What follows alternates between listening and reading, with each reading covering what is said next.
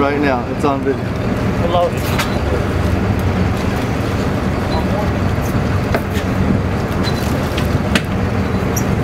We're catching pilchards this morning to go live bait the tunas at the Islamorada hump. We'll throw some sand chum and then we like to throw the net right on top of the sand chum. And the end result is, sit cameras, They're still small.